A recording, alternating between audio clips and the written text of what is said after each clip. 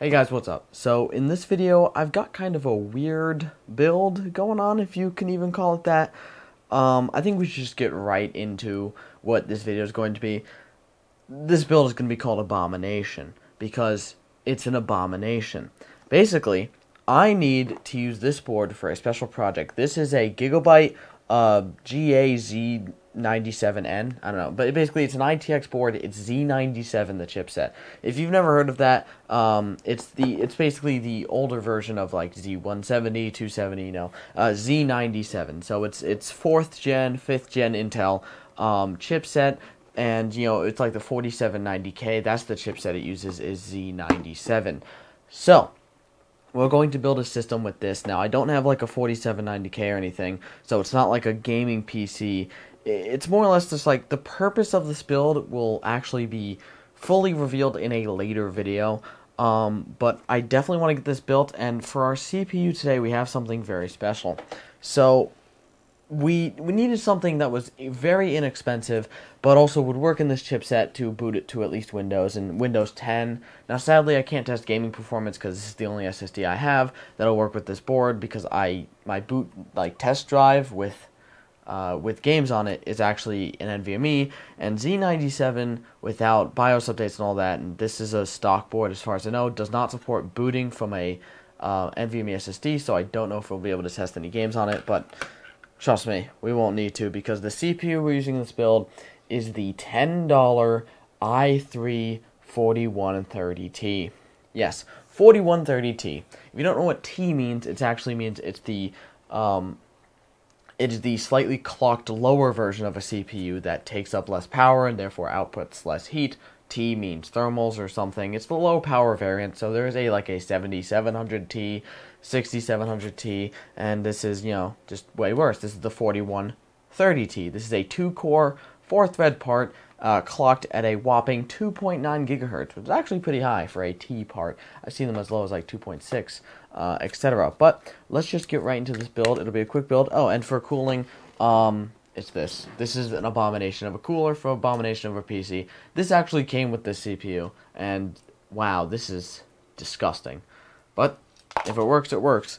So we're actually going to be doing a lot of videos about Intel CPUs coming up because I do have a couple I can't wait to make videos on, uh, including another ITX build. So we're just this board super easy, classic Intel install. Though I hate I hate working with LGA boards. I do not like pins on a socket. They are too delicate. AMD CPUs just drop in, easy peasy. This is a little harder. What just fell? Okay, right. And then this requires an uncomfortable amount of force. And there we go. Our CPU is installed, 4130T in our Z97 chipset. Like I said, so this build does have a specific purpose. Now, some of you are probably thinking, oh, maybe it's like a media PC. And, well, that would be a good idea. A PC, you know, integrated graphics. We're not going to use a graphics card or anything. Just integrated graphics using this power supply to test. Uh, not this one. This one's disgusting. Um, so it is DDR3, so we're going to load it with 16 gigabytes of DDR3 because I have no other use for DDR3 except for my other board, which is the Opteron board, and that doesn't matter. This has integrated graphics. We're not going to use a graphics card. Now, some of you are probably thinking, like I said, multimedia PC, something like that. No, this has a very specific, and this sounds like a waste, but yes, one use. This CPU is going to be a one-use CPU. Some of you, if you're enthusiasts or smart, have probably guessed what this is for, but I'm going to keep it a secret till I make the video that explains everything. Where's our cooler? I don't like these stock coolers. Like, they should be easier than they are, but uh, why would they be? To install. Does it even? I was about to say, does it? It came with the dang CPU, and the mounting holes have been the same the past few years. I don't like. There's they added rotation, and I don't know why. There needed to be a rotation aspect. Now there's already thermal paste on the cooler, so I am reusing thermal paste. And if you have a problem with that, build your own PC. Again, this like I don't get why this won't work half the time. Is that in? That looks like it's on. A lot of snapping happened you know, I, I I have a love for ITX because of just how dense you can make a board and stuff. Like, you know, you wouldn't this is a whole basically speaking like a whole PC, you know, RAM, CPU, I guess graphics, you know, graphics card, but no, it's got graphics on it. This could this is it. This is smaller than like a console. You put in a tiny box with a little power supply, not like something like this, but like an SFX or a Flex ATX or something like that. And you have like a little box to watch like Netflix on or something. Obviously, you probably use even a better processor than this, but you know, generally speaking, this is a nice little board. And um, we're just going to we're just gonna plug it in here. So we've only got oh, I dropped my SSD. I almost forgot about the SSD um, let's actually go grab a SATA connector because I forgot it entirely. I haven't used SATA in forever. Here is our EVGA SATA connector. If this connector does not work and fries our SSD, I'm going to be very disappointed, but it'll make for interesting content. Fries our power supply, that's a problem. Anywho, um, I don't know why I'm using these disgusting SATA cables. Either way, the SATA cables are flat on the board. Perfect and um, just connect the rest of our power cables. And the other problem is, is we got to reach these wires like over, because like in a case, it's sideways, so you don't have to reach them over the board. But I don't have an ITX case. Now, I'm going to tell you what I thought, because it would have been funny. You tell me if you think this would have been funny. I was going to put this in like a giant case, just for the means, like, uh, or even like something like an H510, or just like a huge, you know, PC11 like XL, or just something big, like a huge PC case, just for a joke. But honestly, that's too much work and I would just there would be people who don't get it and would ask me about it, and that would be very disappointing and saddening. So this is it. That's our PC. There's more power. The power supply is bigger than the board, in case you're wondering. Let's uh let's plug in our HDMI. So we've got our HDMI in and our monitor on. Let's plug in our power supply. Let's plug that in just like that. Turn it on, and let's short the power connectors just like so, and it boots. Hey, we get red LEDs. I love red lights. I love board lights. I know you can barely see me. Gotta love this wide angle. And it launches. I'm so smart. Let's see if it boots right to Windows. Loots. Let's see if it loots, man. So we got our classic Gigabyte durable. Get that a lot. I used a lot of these in or ultra durable. That's like their that's like their cheap brand, you know, like the Gigabytes like budget, you know, DS3H, it's all the ultra durable and stuff, and that's how I use a ton of that. Let's see if we boot to Windows. That would be great.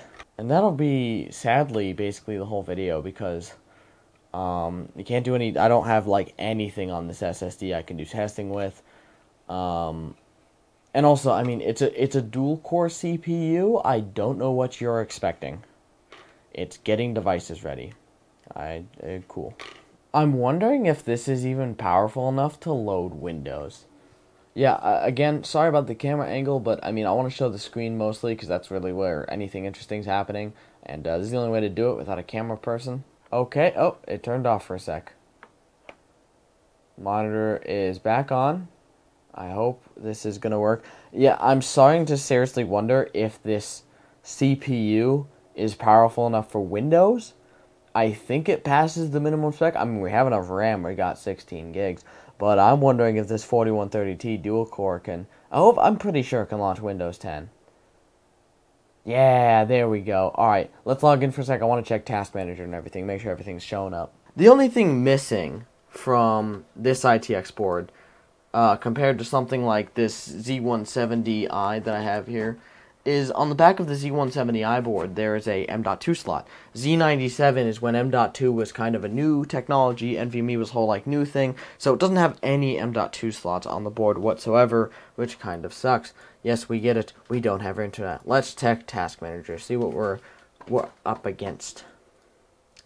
I don't know, I think the ISO on the on this camera is too high for you to see. But we are using 88% CPU, just turning on 95, 100% CPU, turning on the PC. This thing is powerful. i3 4130T at 2.9 gigahertz.